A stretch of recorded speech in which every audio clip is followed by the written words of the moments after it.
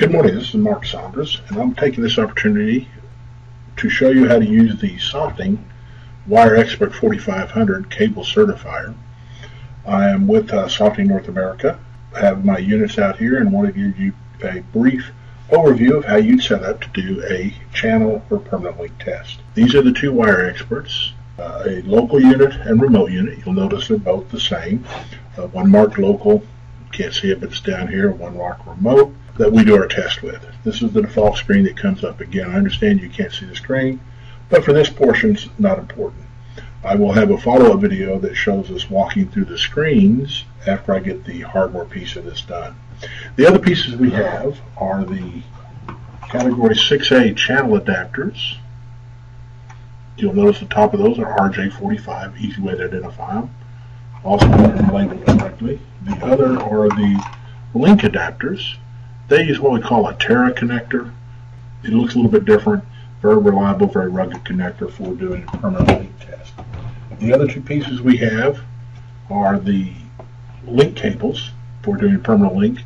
They have the Tera connector on one end, RJ45 on the other. Again, that's for channel testing. I have two of those.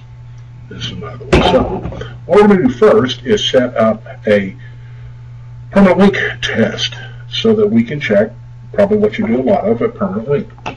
First thing we need to do is what we call a set reference. To do that, I'm going to walk through here the hardware requirements, what we have to do with these units to set up a permanent link, my next video will show how to actually do it and set up the screens to do the permanent link test.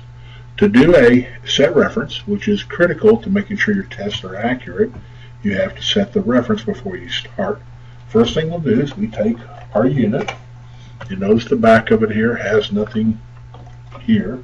And we take a channel adapter, plug that in, and it, it simply slides directly onto the unit there's no nothing fancy about it. Slide it, snap it in. Make sure it snaps in. It'll give you a little happy sound, we call it. Says it's connected. Trick here is on the other one, and it doesn't matter which one gets which. You set up, you plug in the one with the Tera connector that we do with permanent link. So again, take this out, line this up, snap it in,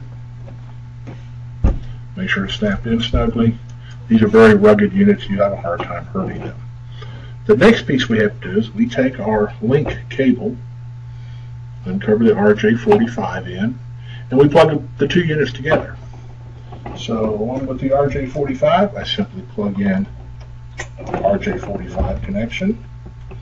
The one with the Tera connection, simply plug this in. Let's get these behind it and we now have the units connected. This is where we'll do the permanent link test. What we're going to do is go to the tools. Again, you won't be able to see this on the screen. I'll walk through it in a little more detail.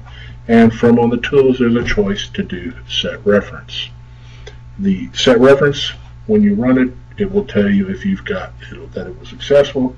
It's checking all the connectors, the cables, the cards, and then you're ready to do it permanently. So relatively easy to set up. One channel connector, one permanent link connector, one cable, all that come in your kit. This is the kit back here that you get, and a nice uh, case to carry them with, and you're ready to do this. So we're going to stop here and then get it set up so you can watch the screen set up.